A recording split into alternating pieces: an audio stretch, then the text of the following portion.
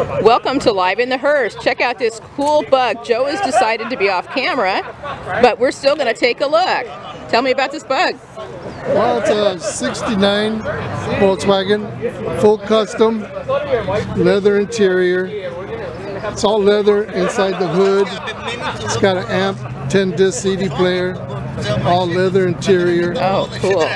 1650 motor, dual carbs. Wow, Joe. Apple skateboards. All the lights, the turn signals were shaven off, front and back. Wow. Custom uh, uh, mirrors. Let's check it out.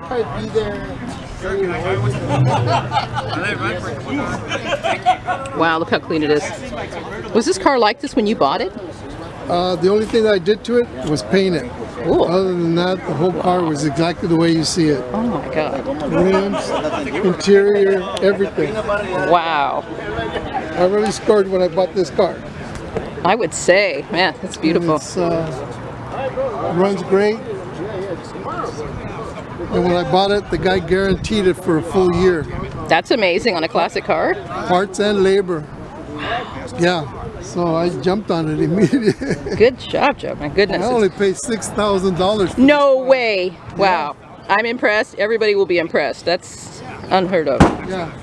Because Volkswagens are going up in price. Yeah. Let's take a look at the other side here. If I can step down.